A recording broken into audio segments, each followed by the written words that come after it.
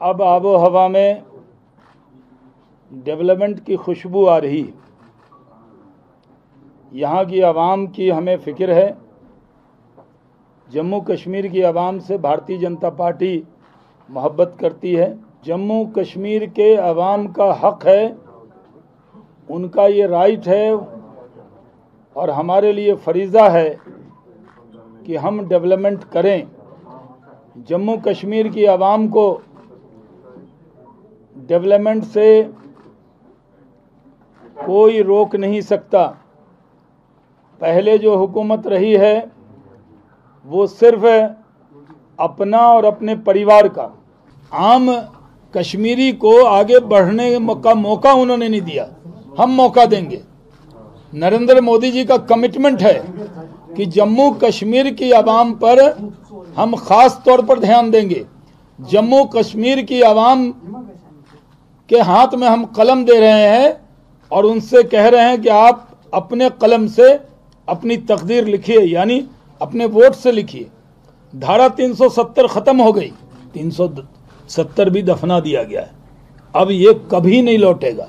इसलिए जम्मू कश्मीर के नौजवानों से कहता हूँ, जो लोग आपको ये पहले तो कहते थे 370 को कोई छू नहीं सकता 35 ए को छू नहीं सकता कोई तिरंगा उठाने वाला नहीं मिलेगा।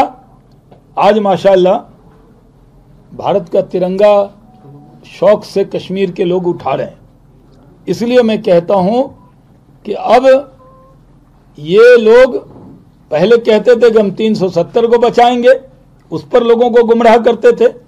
अब ये लोग गुमराह कर रहे हैं लोगों को कि हम 370 वापस लाएँगे। इससे बड़ा झूठ दिन के उजाले में कुछ नहीं हो सकता जो वो बता रहे उन्होंने जम्मू कश्मीर की आवाम को धोखा दिया है। उन्होंने जम्मू कश्मीर अपनी कुर्सी बचाने के लिए जम्मू कश्मीर के जवानों की लाश पर राजनीति की है। वो बहुत बड़े गुनाहगार हैं। उनको यहाँ कोई माफ़ करने वाला नहीं है। उन, उनका गुनाह गुनाह अजीम है। कोई गैंग वाले से भी बड़ा वाला गुनाह है। नरेंद्र मोदी जी की जिद है जम्मू कश्मीर में डेवलपमेंट लाने की, नरेंद्र मोदी जी की जिद है आपको रोज़गार दिलाने की।